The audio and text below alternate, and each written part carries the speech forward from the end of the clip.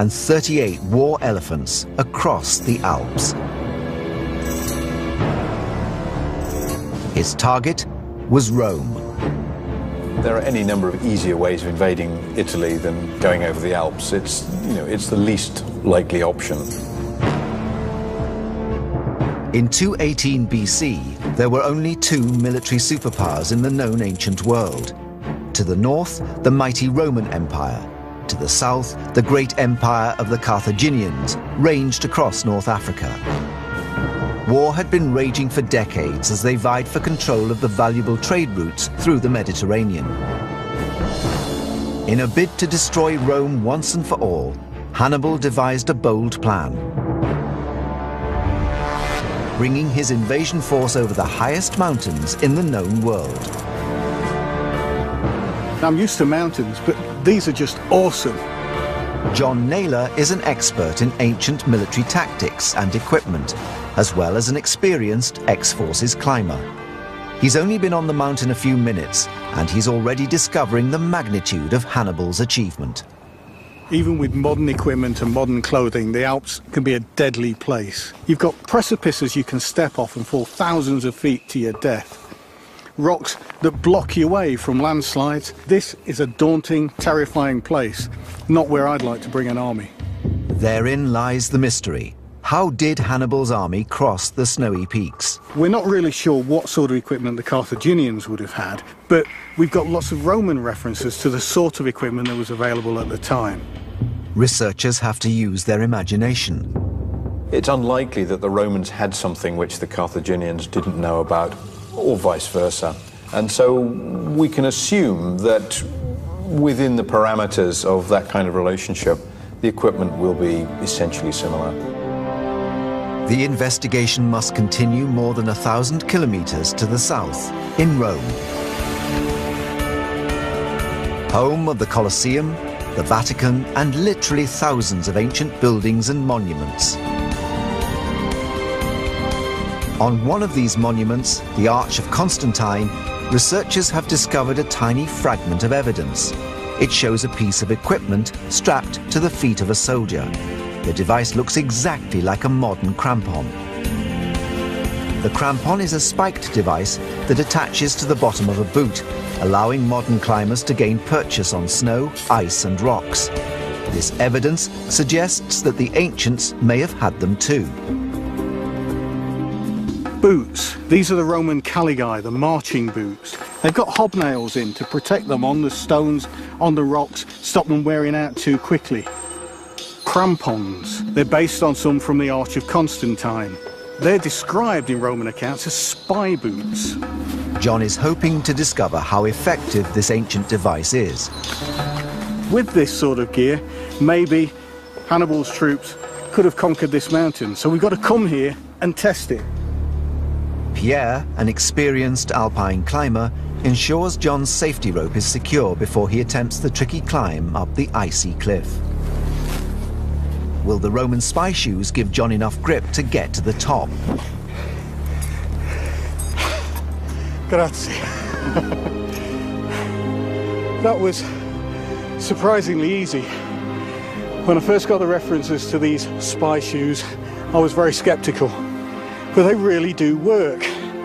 Um, especially on that difficult transition of snow to rock. They were able to give me that extra little bit of traction which in just leather boots, I wouldn't have stood a chance. I wouldn't have liked to have tried it without the safety rope and Pierre, but the Carthaginians could have done it. John has climbed the Alps using 2,000-year-old technology. The prototypes of the equipment special forces still use today. Hannibal did manage to get over these Alps, and we've shown that with the most rudimentary equipment, it's possible. With determination and grit, his men were real men, real soldiers. But then he faced the ultimate barrier. There were some passes that were simply unclimbable. The ancient texts record that as Hannibal descended the Roman side of the Alps, he was confronted with a massive precipice which he couldn't pass. The invasion was on the brink of disaster. But then his engineers proposed a remarkable solution. They would destroy the very rock of the mountain. using a violent chemical formula.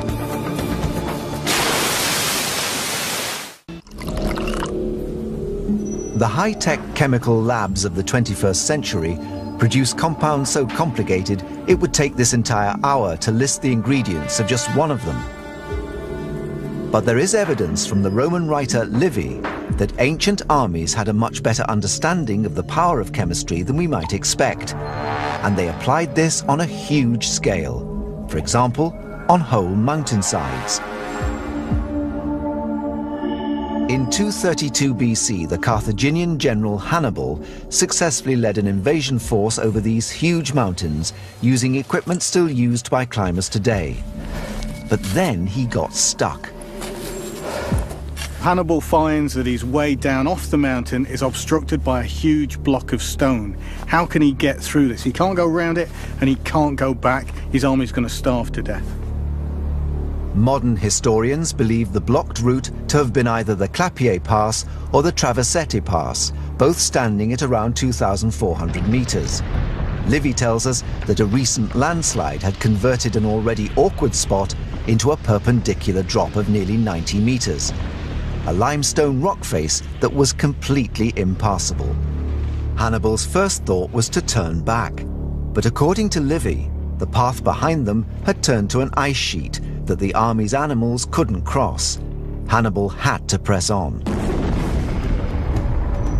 Today, engineers use dynamite to blast pathways and mega machines to smash their way through obstacles.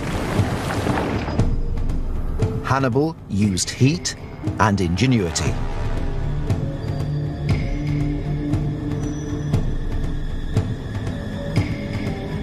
Now, rock's hard. If you heat it, it expands. If you cool it rapidly, it contracts. And that expansion and dramatic contraction causes it to shatter and break. In this state, I can't do anything with it.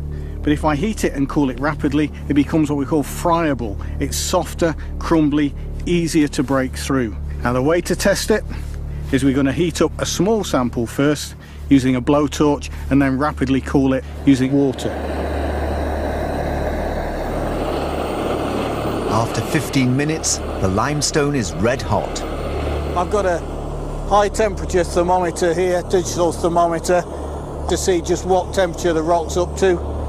At 479 degrees, the addition of cold water will drop the rock temperature by 3,000% in just seconds. It's fizzing and boiling. Oh, amazing.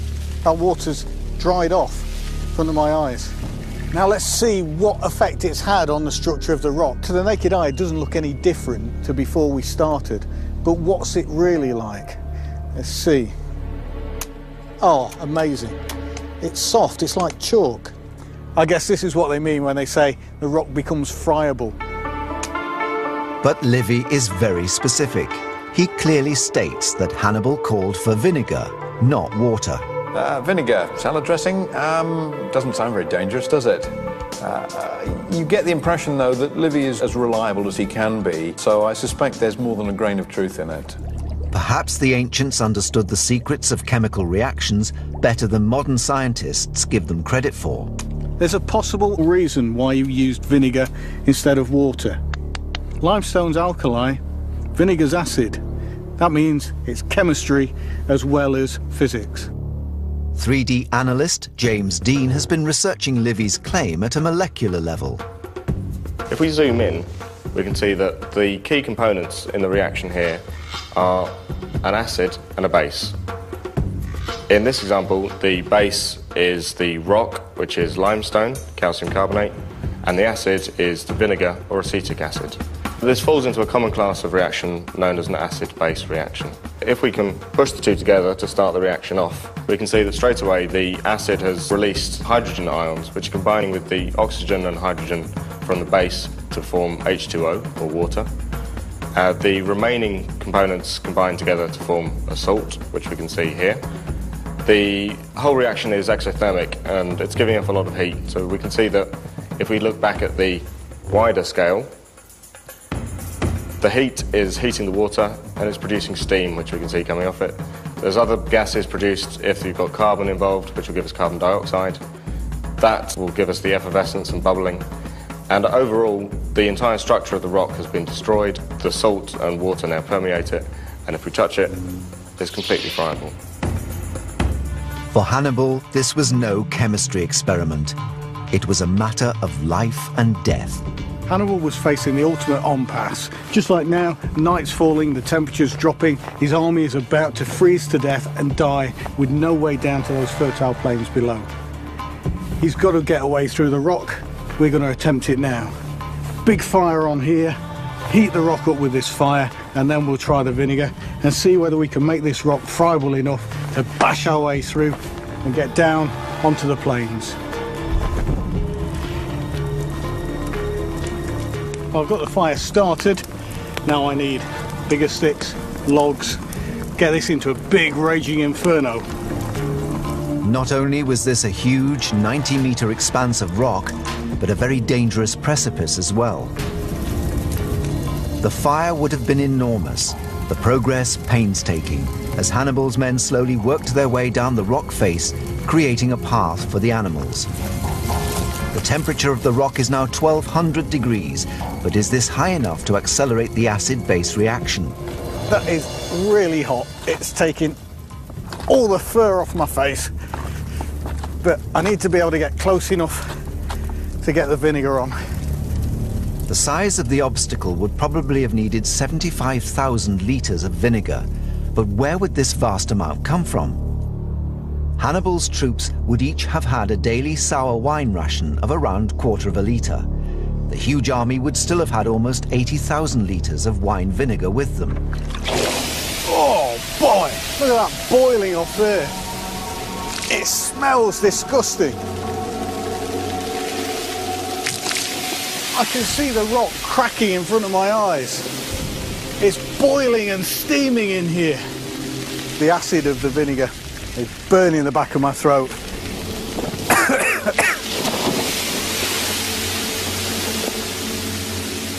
I'm learning every moment that I'm doing this. It's as if this rock has become an organic living thing that's complaining about the treatment we've given it.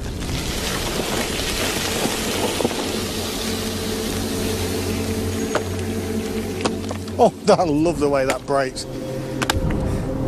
It's not a boulder anymore, is it? It's just a loose conglomeration of pebbles.